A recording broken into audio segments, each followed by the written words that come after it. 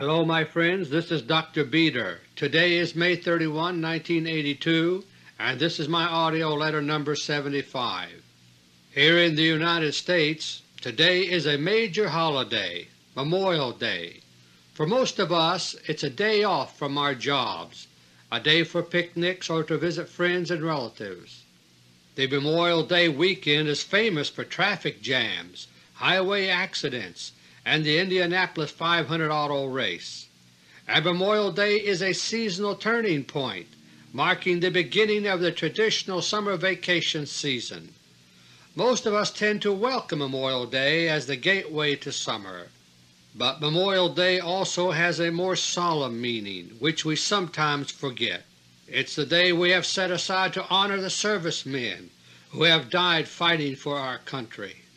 Memorial Day is a reminder that war has become a stark reality for America time after time, and each time the cost in human lives has been tragic. As I look ahead to the summer of 1982 now beginning, it's with mixed feelings. Like most other Americans, I'm looking forward to the activities that make the summer vacation season a time to enjoy but the summer ahead will also be a time of increasing danger for America. The timetable for nuclear war which I made public three months ago in AUDIO LETTER No. 72 is still in effect, my friends. That timetable calls for Nuclear War I to erupt by mid-September 1982, barely three months from now. The American Bolsheviks who now control the United States Pentagon are not slowing down in their war preparations. This is true in spite of the fact that part of their war plan has been crippled as I detailed last month. The covert warfare that spawned the so-called Falklands crisis has all but ruined the Pentagon plans for final victory in the coming war. But the Bolshevik war planners here have a suicidal streak in their thinking, and they are bent on war regardless of the consequences. As I say these words, headlines are growing larger and larger about the Falklands War between Argentina and Britain. Since I spoke to you last month, heavy losses have been reported on both sides. Argentina has lost her only cruiser, the General Belgrano, plus several minor vessels and a number of aircraft. Britain has so far admitted losing five major ships, two destroyers, two frigates, and a container ship full of war material. These reports reflect the scale of the present fighting somewhat, but they are incomplete and distorted. As in every war, the truth has become the first casualty. My three special topics for this AUDIO letter are Topic number 1 The Pentagon Countdown Toward Nuclear War 1 Topic number 2 The Economic Attack on the United States Constitution, and Topic number 3 Billy Graham vs. the Bolshevik War Lobby. Topic number 1 In AUDIO LETTER 73 two months ago, I revealed that an entire new nuclear war strategy against Russia is being developed here in Washington. It is being worked out by an elite military planning group in extreme secrecy under the code name Project Z. It's a rush project, calling for Nuclear War I itself to begin by September of this year 1982. Last month I reported that Project Z was continuing to move fast at the secret war planning room here in downtown Washington. As I stated, the process of fleshing out the basic war plan was already underway. Now, my friends, the first complete draft of the total Project Z war plan is ready. The plan is essentially completed, with nothing left to do but make minor refinements here and there. And now the existence of this major new United States nuclear war plan is creeping into the news. Just yesterday, May 30, an article about it appeared for the very first time in the New York Times. The article by Richard Halloran carries the headline Pentagon draws up first strategy for fighting a long nuclear war. The article begins, quote, Defense Department policy makers in a new five-year defense plan have accepted the premise that nuclear conflict with the Soviet Union could be protracted and have drawn up their first strategy for fighting such a war." Unquote. The article goes on to mention that the plan is laid out in an unpublished document of 125 pages. It has been drafted for approval by Secretary of Defense Caspar Weinberger. My friends, I have reported many times now that the United States Pentagon is controlled by the Bolsheviks who formerly controlled Russia. I have also identified Weinberger as the highest visible agent of the Bolsheviks here in the United States Government today. The nuclear war plans of the Bolsheviks here are moving fast, but as I have also reported before, the United States Government today is a house divided. The Bolsheviks are opposed by their bitter rivals, the Rockefeller Cartel. Their top visible operative in the Federal Government today is Secretary of State Alexander Haig. The often visible feuding between Haig and Weinberger is only a pale shadow of this deadly power struggle behind the scenes. Unlike the Bolsheviks here, the Rockefeller faction do not want nuclear war. In a word, they cannot afford it. They would lose everything, and so the Rockefeller faction here is working feverishly to head off the Bolshevik nuclear war plan. The new anti-Bolshevik rulers of Russia are also against nuclear war. The anti-Bolshevik, anti-nuclear war attitudes of the Rockefeller Cartel and the Kremlin has led to a limited coalition between them in recent months. The most spectacular result so far from this Rockefeller-Russian coalition is the Falklands War now raging between Argentina and Britain. In AUDIO LETTER No. 74 last month I reported what the Falklands War is all about. It is the visible aftermath to covert warfare which took place during April. The Rockefeller Cartel and the Russians joined forces to destroy certain major military installations and weapons reserves. These were key ingredients in the final phase of the Project Z war plan. The whole operation began at South Georgia Island on April 3rd. With the help of Argentina, a joint Rockefeller-Russian commando team was able to knock out the giant hidden naval base there. The base, built during the 1960s, was originally controlled through the United States Government by the Rockefeller Cartel, but the Bolsheviks here acquired control of the bases about three years ago when they seized control of the American Pentagon. Last month I detailed how the attack on the base was carried out. It was contained within a giant man-made cavern hollowed out inside a mountain near the water. With the camouflage ship entrances sealed up, the base was bomb-proof, but the joint Rockefeller-Russian commando team succeeded in attacking the base by drilling a shaft through the mountain. Then a compact Russian neutron bomb was inserted through the shaft and detonated inside the cavernous naval base. The process took several weeks, the Thatcher government, which like the United States Pentagon is Bolshevik controlled, dispatched the Royal Navy. First, it was supposed to dislodge the heavily armed Rockefeller-Russia military force before it could destroy the naval base. Then it was to move on to the Falklands for the publicly admitted fighting. The Royal Navy arrived several days too late to save the secret base on South Georgia Island, as I reported last month, but by that time the panicking Thatcher government had already committed some two-thirds of the Royal Navy to the South Atlantic. On top of that, at least one British ship had already been sunk by Russia in connection with the secret South Georgia operation. That left the Thatcher government with no choice but to engage Argentina in battle. Otherwise it would have been impossible to explain away Britain's huge deployment to the South Atlantic, much less the heavy losses which had been sustained. When I recorded AUDIO LETTER No. 74 last month on April 30, the British blockade of the Falklands was just beginning. Later that day the entity President Reagan announced that the United States was actively siding with Britain. The announcement was a victory for the Pentagon war faction. Right away warfare around the Falklands started heating up fast.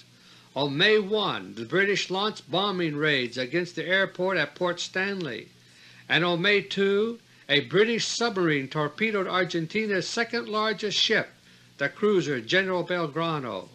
It sank within 24 hours, leaving a death toll of more than 300 Argentine sailors.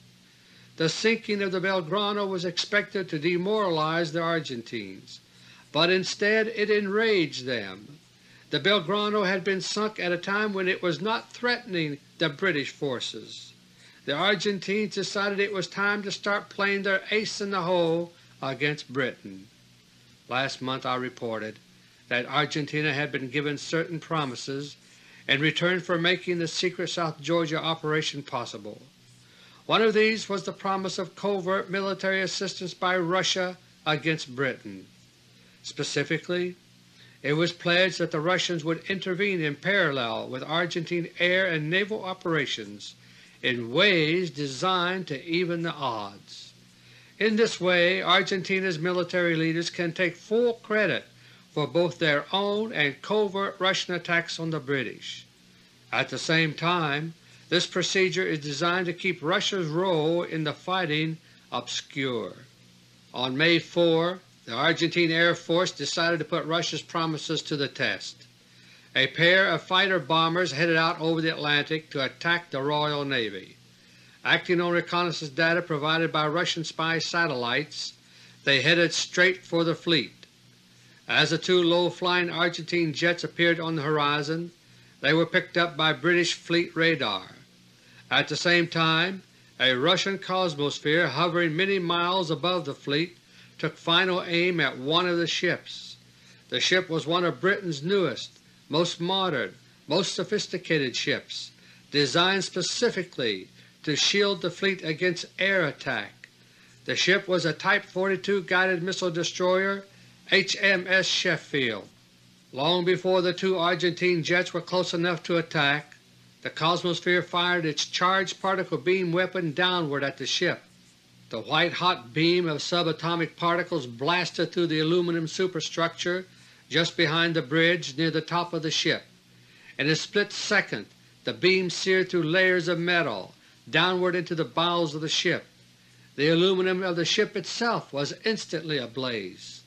The Argentine fighter pilots witnessed the spectacular explosion and intense white flames from nearly 20 miles away. They promptly turned back toward home, having expended no missiles. Bewildered survivors from the Sheffield later said there had been no warning before the blast. Argentina's leaders are being coached by Rockefeller cartel operatives in what to say publicly about war developments. They claim that a French-made missile called the Exocet had been used to sink the Sheffield but to those who know the characteristics of the Exocet missile the Sheffield disaster remained a mystery. The Exocet, my friends, is a type of missile known as a sea skimmer. It's designed to skim along just above the water, striking a ship almost at the water line. File films of the Exocet which have been shown on TV clearly show this behavior but the Sheffield was blasted close to the very top of the superstructure.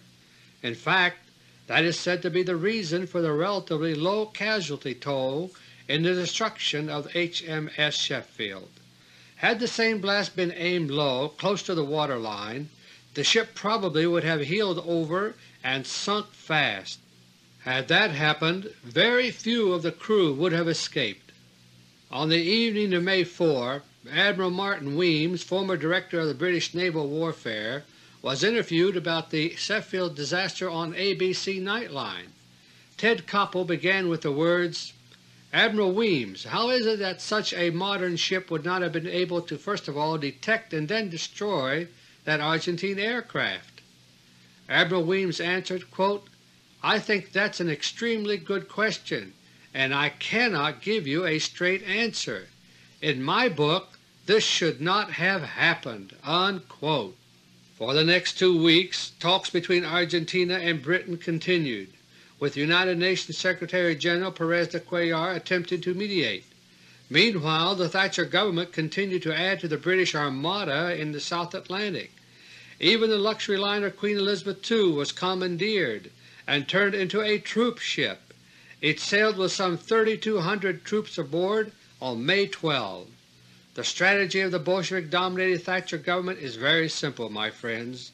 They know very well they are sending the Royal Navy into a trap, but they believe that by multiplying naval strength in the South Atlantic virtually beyond reason, they will win.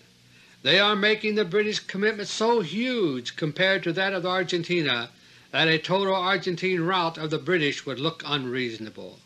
It would enable the question of covert Russian aid to Argentina to be raised openly and credibly, and that could help to set off the very nuclear war which they know Russia is trying to avoid. Following this brute force strategy, the Thatcher government has continued to pour every available ship into the South Atlantic fray. As of now, over 100 British ships are either in the war zone or heading toward it. That's almost the entire Royal Navy. The attitude is, for every ship the Russians and Argentinians sink, the Thatcher government will just send two more. Anything to make sure Britain retakes the Falklands, because if that is not accomplished the Thatcher government will fall and that will be a setback to Bolshevik power in Britain. On May 19 the last-ditch talks at the United Nations finally collapsed. Britain was ready at last to invade.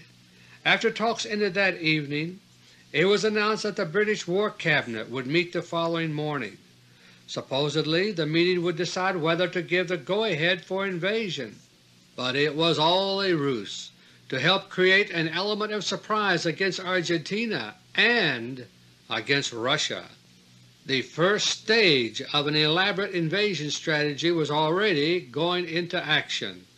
On the evening of May 19 the British invasion fleet was divided up into two groups. One group was 150 miles due east of Port Stanley, the other a hundred miles to the northeast. Shortly before midnight Washington time, both invasion forces started heading toward shore. Russian Cosmospheres and submarines went into action, working together. Both British assault groups came under fire. At least two ships critical to an assault were hit and heavily damaged. By 2 a.m. Washington time, both assault forces aborted their moves toward the Port Stanley area. In response, Russian forces disengaged. The Russians believed they had thwarted the British invasion, but, my friends, they were wrong. The two large invasion groups threatening Port Stanley the night of May 19 were actually carrying out a diversionary action. British strategists knew that the Russians had the muscle available to stop any invasion. The only chance of success lay in convincing the Russians that they had stopped the invasion and then somehow sneaking troops ashore. So the two large invasion forces of May 19 actually were staging a decoy action. Most of the British invasion troops were no longer aboard the troop carrier Canberra or the assault ships. Instead they had been transferred to other ships which normally are not used for amphibious purposes. On the morning of May 20 the elaborate British deception continued. Up until the previous day British statements had been referring to an imminent all-out invasion, but on the morning of May 20 the statements changed abruptly. British Defense Ministry spokesmen suddenly started saying that the British would confine themselves to small hit-and-run raids for a while. The Bolshevik military planners in London wanted to further convince Russia that the invasion had been stopped the previous night. It worked. Small groups of British ships began moving around the Falklands, as if to plant small raiding parties here and there. In the early morning darkness of May 21, one of these small groups of ships moved into the north end of Falkland Sound between the islands. Contrary to press reports, the troop ship Canberra was not among them, nor was an assault ship. Those ships would have tipped off the Russians, monitoring everything from Cosmospheres far above, that a major landing was afoot. Instead, the key ship that moved into San Carlos Bay was the hospital ship Uganda. Under cover of darkness the Uganda moved close to shore. British assault troops, crammed like sardines into the Uganda, clambered down the sides of the ship on rope ladders into motor launches. The launches ferried the troops a short distance ashore, one group after another. As soon as they were ashore, the troops had orders to spread out fast. In that way they rendered themselves unsuitable targets for any attack by the Russian Cosmospheres patrolling miles above. Particle beam weapons are devastating against concentrated targets, but very inefficient against personnel scattered over a wide area. By dawn other ships had also disembarked troops in the same manner. By the time daylight revealed what was really going on, it was too late. The British invasion of the Falklands was under way. Once the British got ashore with a sizable number of troops, Britain's chances of regaining control of the island started increasing fast. Covert Russian help for the Argentines is much more feasible at sea and in the air than on land. In the past ten days we have heard about a number of devastating air attacks by the Argentines. Up to now the British have admitted losing at least five ships, plus several helicopters and Harrier jump jets. But slowly the British ground forces have been reinforced and started advancing across East Falkland Island towards Port Stanley. As of today, May 31, British ground forces are said to be closing in on the main Argentine garrison at Port Stanley. The operation is being portrayed in the news here as a relatively easy task, but that is far from true. British casualties in the land battle have been far greater than admitted, and at sea the Royal Navy has taken very heavy losses that are not even hinted at so far in the news. Many ships have been badly damaged, and all, I repeat all of the original contingent of the Sea Harrier jump jets have been put out of action. Both British aircraft carriers, the Hermes and the Invincible, have been rendered incapable of launching jets. The Harriers now operating around the Falklands are a different type from the sharp-nosed, blue-painted Sea Harriers. They are painted in green and brown camouflage. My friends, they are United States Marine Corps Harriers, and they are operating from an American ship.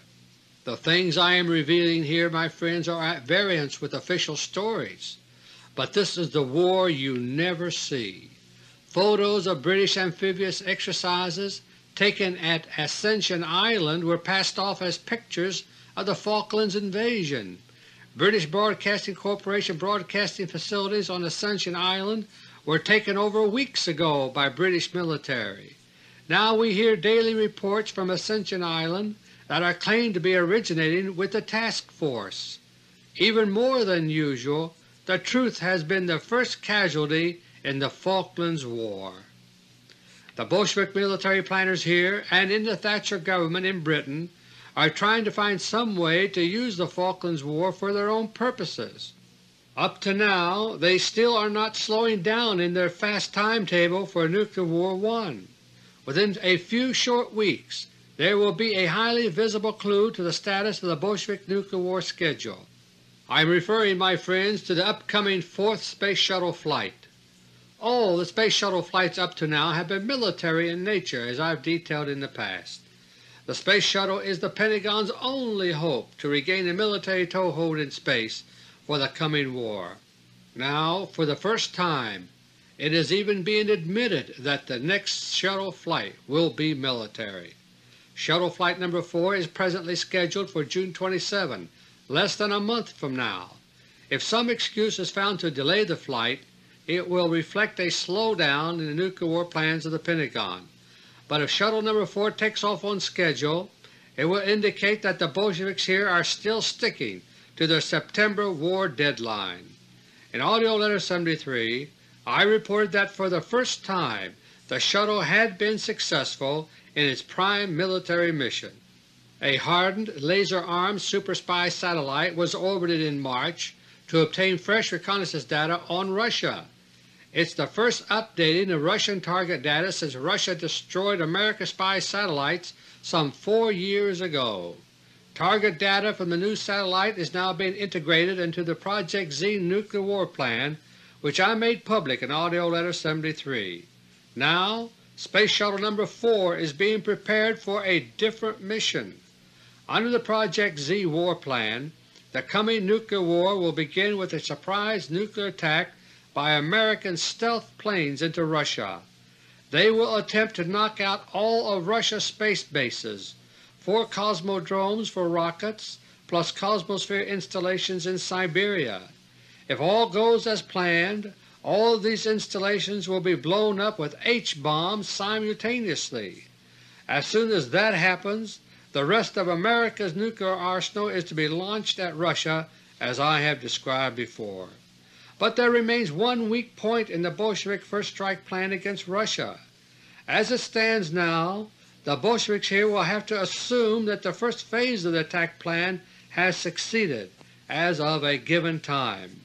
The reason is that the United States currently has no means of verifying if the initial stealth attack has succeeded. When Russia destroyed America's spy satellites four years ago, she also destroyed our high-flying early warning satellites. That leaves the Bolshevik war planners here without any way to tell if their bombs have exploded in Russia. Space Shuttle No. 4 is intended to solve that problem within weeks from now. The super-secret Department of Defense payload is a cryogenic infrared sensor system. It's designed to look down at Russia from geostationary orbit. It will detect the explosions of American H-bombs in Russia when it happens. The moment that it flashes a signal confirming the explosions to the Pentagon, the rest of the American nuclear first strike against Russia will be set in motion. In order to do its job, the Air Force infrared sensor has to be placed in geostationary orbit. That orbit is over 22,000 miles high, over the equator. The shuttle itself cannot go that high, it can only go to low Earth orbit, perhaps 150 miles up.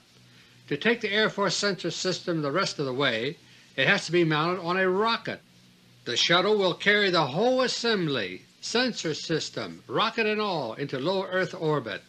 From there the rocket will take the sensor system out to the desired location far above the equator. My friends, as of now the countdown toward Nuclear War I is still being continued by the Bolshevik war planners in the Pentagon. The Falklands crisis began as an effort to prevent or delay nuclear war, but it may instead end up helping to set off that very war. If so, America's fourth Space Shuttle flight could turn out to be America's final manned mission into space. The Air Force sensor to verify success of America's coming initial attack on Russia will eventually be destroyed by Russian space weapons. Before that can happen, the Bolshevik planners in the Pentagon will try to set off Nuclear War I. Topic number 2 For two months now the Falklands crisis has dominated the news. Likewise the growing threat of nuclear war and mounting anti-nuclear sentiment have been making headlines, but for millions of Americans a different crisis seems far more important. It is a long-term crisis which has been with us for many years now. This mounting crisis, my friends, is that of the crumbling United States economy and the United States dollar. Just this month, May 1982, there has been all sorts of bad news on the economic front. On May 7, the government announced that unemployment, as officially calculated, had reached 9.4 percent, the highest level since the Great Depression. And just five days later there was another shock. Braniff Airlines abruptly terminated operations and filed for bankruptcy. It was the first time ever that a United States trunk airline had failed. Braniff, like more and more other businesses, was brought down by a mountain of debt. With interest rates remaining sky high in the midst of a deep recession, more and more companies simply cannot survive. Production cutbacks, layoffs, and bankruptcies are continuing to spread, and more and more people are losing their jobs. This recession is especially cruel because it is an inflationary recession. We are now living in the stagflation era which I warned about in my book The Conspiracy Against the Dollar nearly 10 years ago. The deliberate plans which were set in motion long ago to destroy the United States dollar are now far advanced. Since 1970 the combined effects of inflation and taxes have cut the purchasing power of the dollar by 55 percent. A family of four living on $10,000 in 1970 would need well over $23,000 in 1982 just to stay even. And this historically unprecedented collapse of the dollar is continuing even as people are thrown out of work.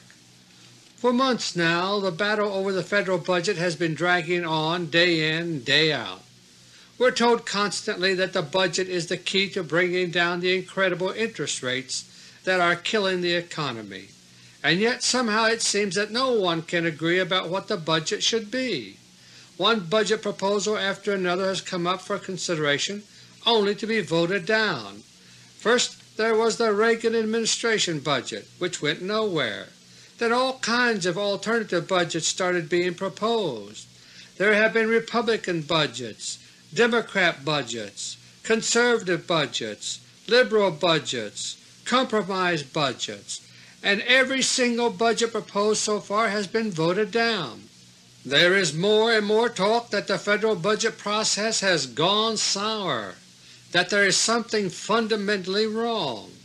On May 28 the entity President Reagan denounced the budget process while he was in Santa Barbara, California to make a speech.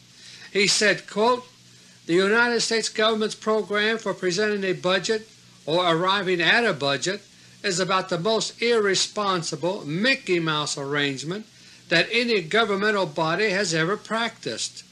It's called the President's budget, and yet there is nothing binding about it. It is submitted to the Congress, and they don't even have to consider it." Unquote. My friends, please note carefully how this criticism by the President was phrased. I suggest you stop your recorder and play it back again, because the entity Reagan was not just delivering a standard political tongue-lashing at his political opponents, he was condemning the process itself. And he added, quote, I think that some real solid thinking should be given now to a budgeting process that befits the great government of a great nation." Unquote. My friends, Reagan's choice of Santa Barbara, California for this statement was symbolic. It so happens that the so-called solid thinking he recommended for a new budgeting process has already been done, and as the President knows very well, that thinking was done in Santa Barbara at a tax-exempt foundation called the Center for Study of Democratic Institutions. That is where the secret new Constitution for America was written, including detailed new provisions for the budgeting process. Seven years ago in 1975 I published a pamphlet in which I reviewed the secret new Constitution from a legal perspective. The entire text of the new Constitution is contained in the pamphlet. If you have a copy, you can read about the proposed new budget process for yourself. It's all there in black and white. Important passages to look at include Article 4, the Planning Branch, Sections 2, 4, and 7, Article 5, the Presidency, Section 1, and Article 6b, the House of Representatives, Section 8. What you will discover if you trace through the budget process described in the new Constitution is very significant.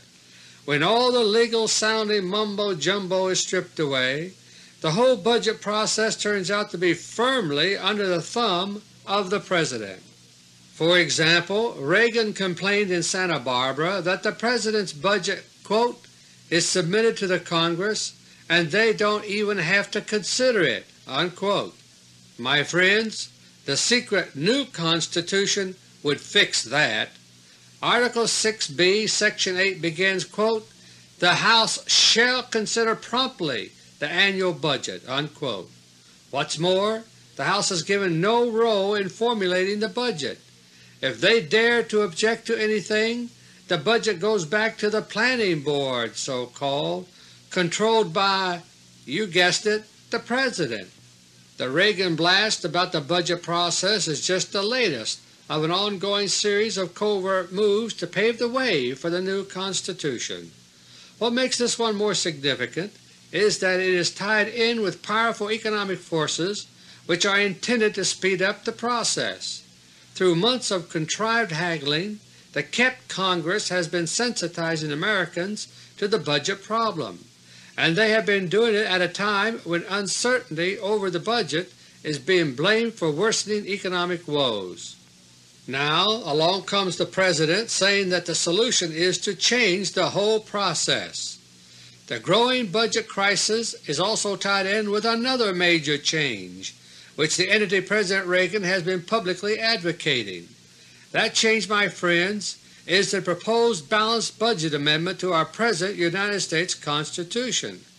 There is a drive underway right now to call a constitutional convention in order to introduce a balanced budget amendment. Already most of the required number of states have ratified the call for such a convention. At the moment, if just three more states ratify it, a constitutional convention will be legally required to be called.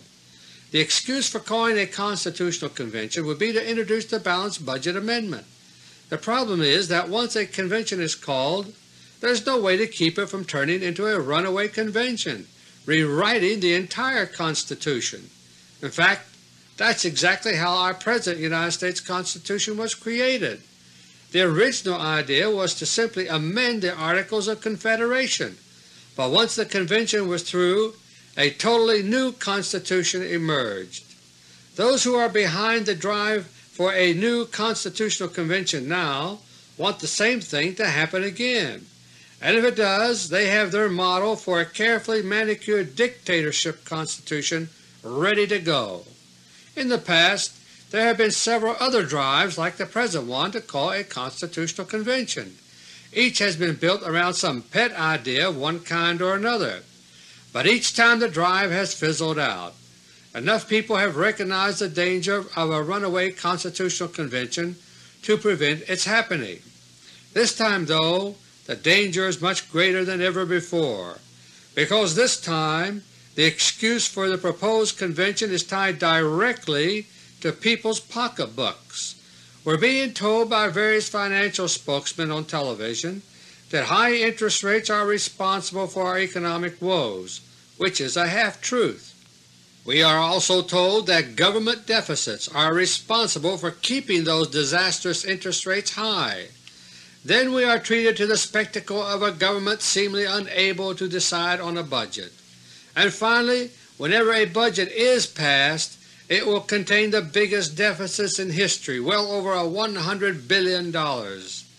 Against that background, the promise of relief by way of the balanced budget amendment may prove too tempting to resist.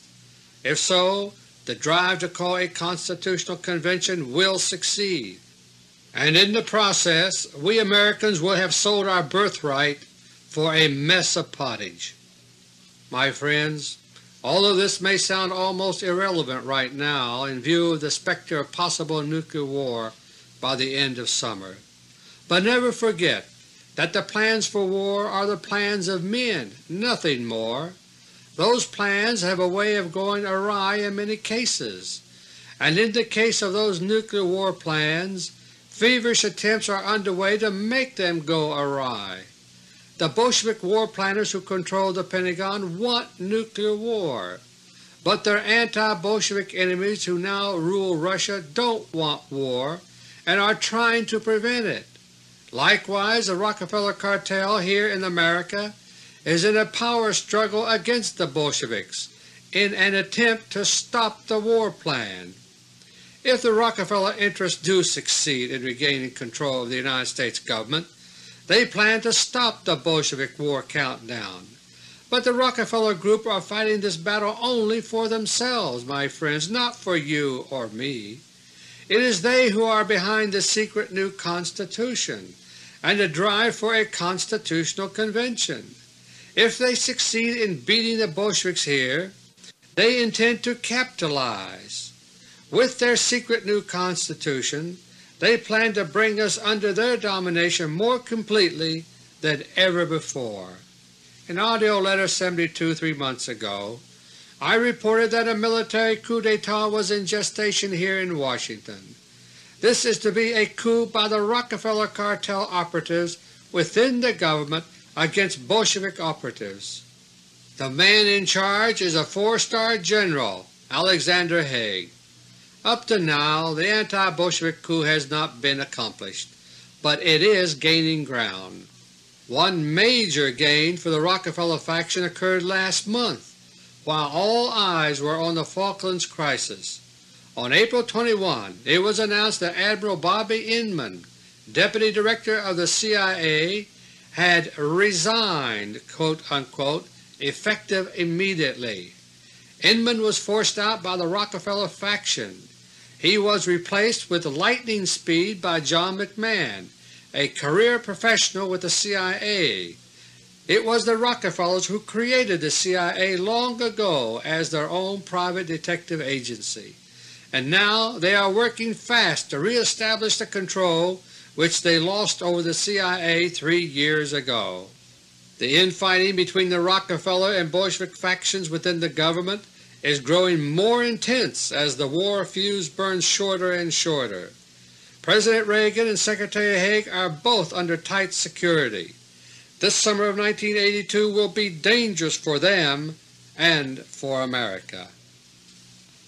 Topic number 3 On the evening of May 16, millions of Americans tuned their television sets to NBC to watch the first installment of a special mini-series. It was a lavish portrayal of the travels and adventures of Marco Polo. For the next four nights viewers were treated to a spectacular reenactment of Marco Polo's experiences as he traveled to China. Interspersed with those scenes of adventure and splendor were brief scenes depicting what happened to Marco Polo after he returned home to Venice. He dared to speak of places he had been and things he had seen that conflicted with the dogma of the day, and so he was tried for heresy. Today in 1982 we like to think of ourselves as too enlightened to close our minds like the inquisitors of Marco Polo. But the fact is that even today those who challenge preconceived notions are quickly branded as heretics and the like. There was a perfect example of this on Sunday morning, May 16.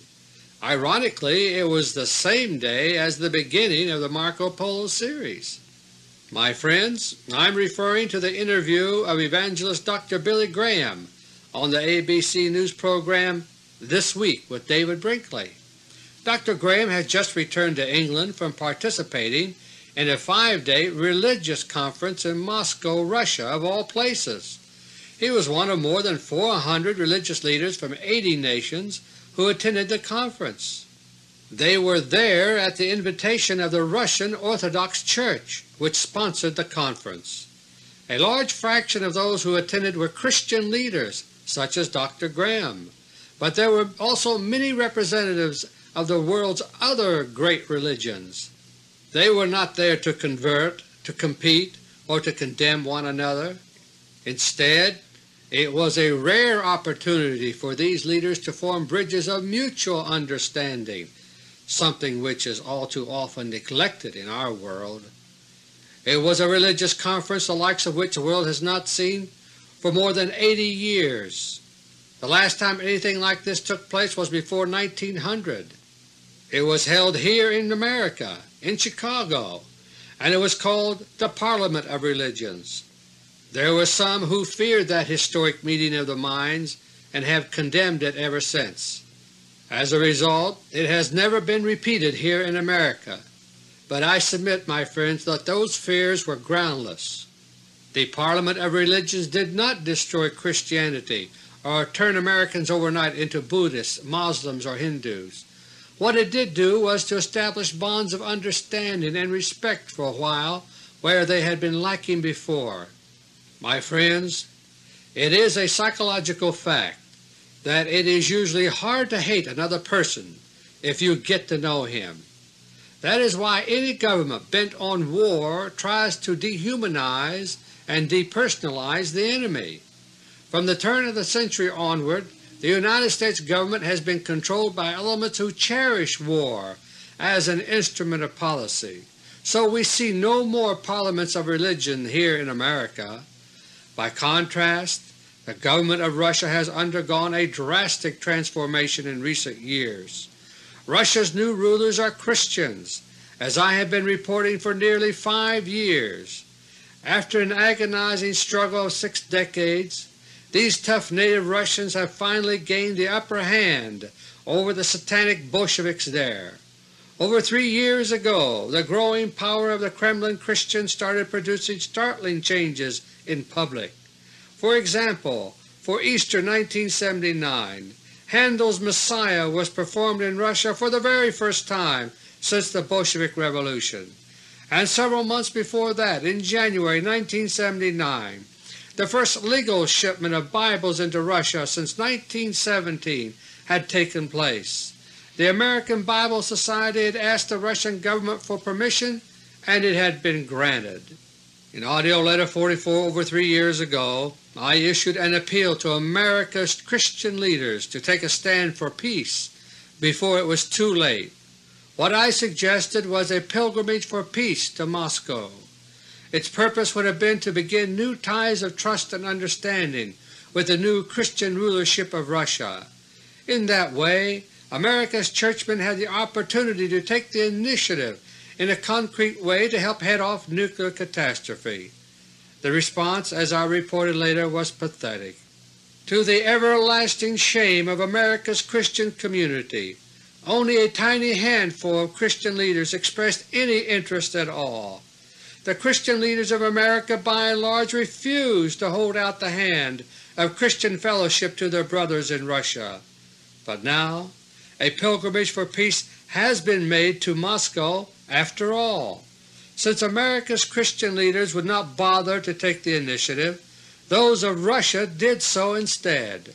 They invited religious leaders the world over to make a pilgrimage for peace to Moscow, and they called their five-day assembly the quote, Conference of Religious Workers for Saving the Sacred Gift of Life from Nuclear Catastrophe. Unquote.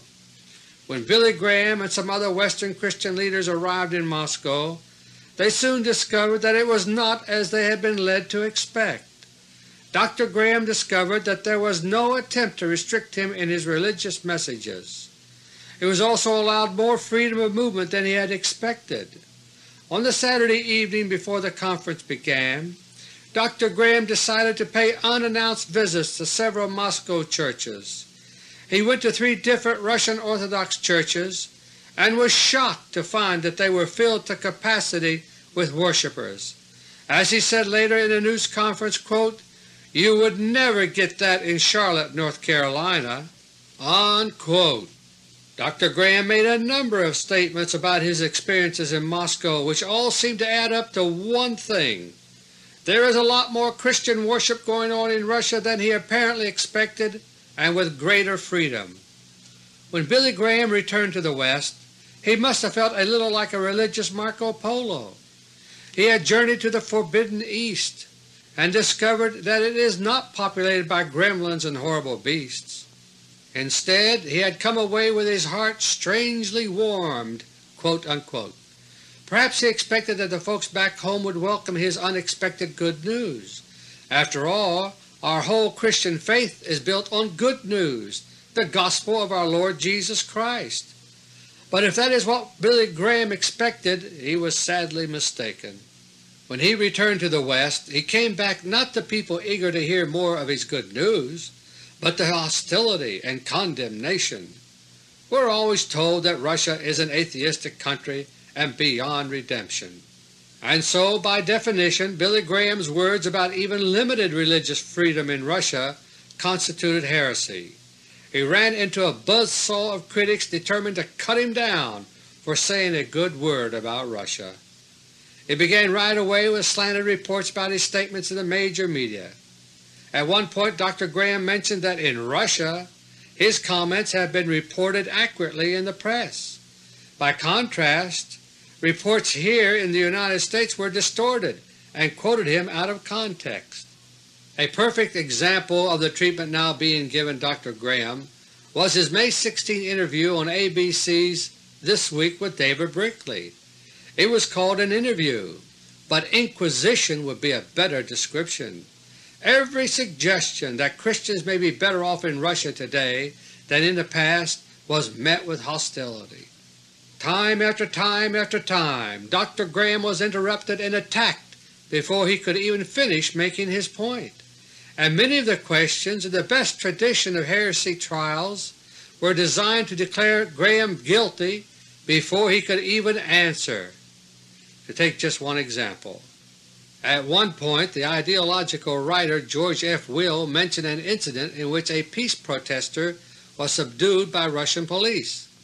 Then he asked, and this is an exact quote, Given that evidence that there is no, and is not about to be, any peace movement in the Soviet Union, wasn't it clear to you from the start that this propaganda festival to which you were going was used simply to encourage a unilateral peace pressure and disarmament pressure in the West?"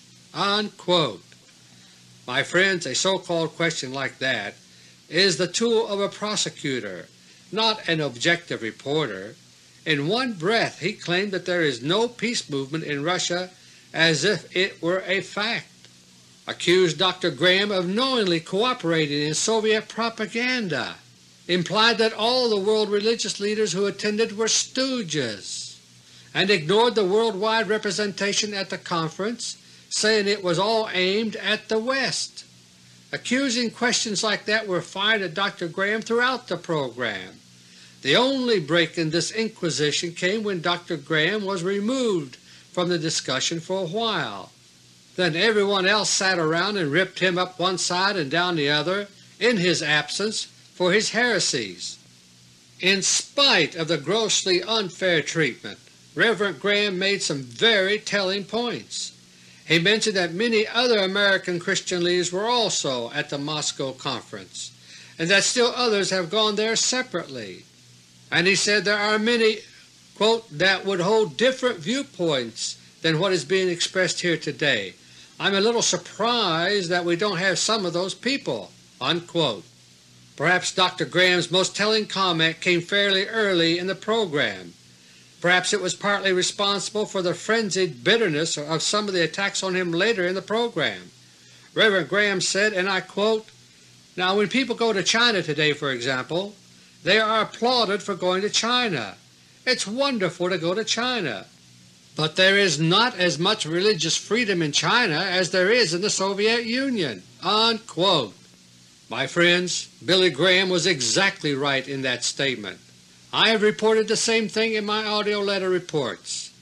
The favorable image now being given to Red China is purely political and military in its origins. Unfortunately, some church-related groups are being used for these political purposes. What Dr. Graham may not know is the reason for the violent attacks he has endured lately. My friends, he has run afoul of the American Bolshevik nuclear war lobby here. They want to use you and me to do their dirty work for them against Russia. That is what their nuclear war plans are all about. And so at all costs they must not let us know that Christianity is reviving today in Russia. Even more, they dare not let the American people know that the true leadership of Russia today is Christian, because if we all knew that, my friends, we would never agree to their plans to destroy Christian Russia in a thermonuclear war. Now it's time for my last minute summary. In this AUDIO letter I've tried to bring you up to date on the progress of plans to throw America into nuclear war against Russia. The countdown by the Bolshevik war planners who now control the Pentagon is still continuing. Their war plans have been damaged by the Falklands War, but they are trying to turn that conflict to their own ends. Meanwhile, the countdown for Space Shuttle Flight No. 4 with its secret military payload is still on schedule. If the mission succeeds, the danger of nuclear war will increase dramatically. The summer of 1982, my friends, promises to be a dangerous time for America. As of now, Nuclear War one could be as little as three months away. But the Bolsheviks here have enemies who are trying to stop the war countdown. Here in the United States the Rockefeller Cartel is continuing its power struggle to take back control of the government from the Bolsheviks. As part of that struggle, the preparations for a military coup d'etat led by General Alexander Haig are making progress. Likewise, the Russians are continuing to try in their own ways to prevent the war. Unlike the Rockefeller Cartel, the Russians are doing this for moral reasons. This month, May 1982, religious leaders from around the world gathered in a religious conference to take a stand for peace. If the conference had been held, say in Washington, D.C., we would be hearing nothing but praise about it. But it was held instead in Moscow, Russia, and for that reason alone it has been condemned here in the United States. Those who dare to honestly report the favorable surprises they encountered there are being castigated as heretics. The most visible of these is Rev. Billy Graham. For describing what he actually saw and experienced, honestly and without prejudice, he is being crucified on all sides. My friends, the same thing will happen to you if you dare to speak up about the things you know. But if you do not speak up to your friends, to your neighbors, to your relatives, they may never know why we are heading toward nuclear catastrophe. So I urge you to speak now and remember the promise of our Lord Jesus Christ. He said, Blessed are they who are persecuted for righteousness' sake, for theirs is the kingdom of heaven. Until next month, God willing, this is Dr. Beter. Thank you, and may God bless each and every one of you.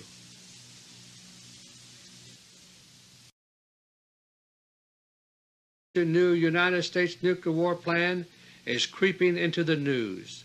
Just yesterday, May 30, an article about it appeared for the very first time in the New York Times. The article by Richard Halloran carries the headline, Pentagon Draws Up First Strategy for Fighting a Long Nuclear War. The article begins, quote, Defense Department policymakers in a new five-year defense plan have accepted the premise that nuclear conflict with the Soviet Union could be protracted and have drawn up their first strategy for fighting such a war." Unquote. The article goes on to mention that the plan is laid out in an unpublished document of 125 pages. It's been drafted for approval by Secretary of Defense Caspar Weinberger. My friends, I have reported many times now that the United States Pentagon is controlled by the Bolsheviks who formerly controlled Russia. I have also identified Weinberger as the highest visible agent of the Bolsheviks here in the United States Government today. The nuclear war plans of the Bolsheviks here are moving fast, but as I have also reported before, the United States Government today is a house divided. The Bolsheviks are opposed. Hello my friends, this is Dr. Beter. Today is May 31, 1982, and this is my AUDIO LETTER No. 75. Here in the United States, today is a major holiday. Memorial Day. For most of us it's a day off from our jobs, a day for picnics or to visit friends and relatives. The Memorial Day weekend is famous for traffic jams, highway accidents, and the Indianapolis 500 auto race. And Memorial Day is a seasonal turning point, marking the beginning of the traditional summer vacation season. Most of us tend to welcome Memorial Day as the gateway to summer. But Memorial Day also has a more solemn meaning, which we sometimes forget. It's the day we have set aside to honor the servicemen who have died fighting for our country. Memorial Day is a reminder that war has become a stark reality for America time after time, and each time the cost in human lives has been tragic. As I look ahead to the summer of 1982 now beginning, it's with mixed feelings. Like most other Americans, I'm looking forward to the activities that make the summer vacation season a time to enjoy, but the summer ahead will also be a time of increasing danger for America. The timetable for nuclear war which I made public three months ago in AUDIO LETTER No. 72 is still in effect, my friends.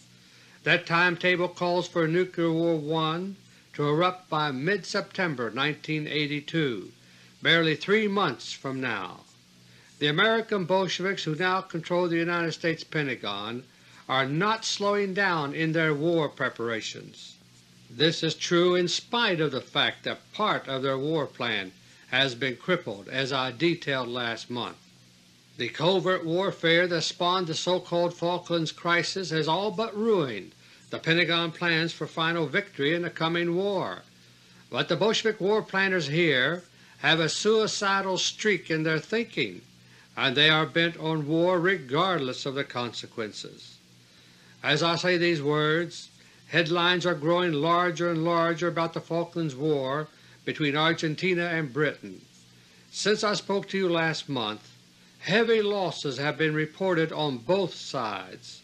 Argentina has lost her only cruiser, the General Belgrano, plus several minor vessels and a number of aircraft.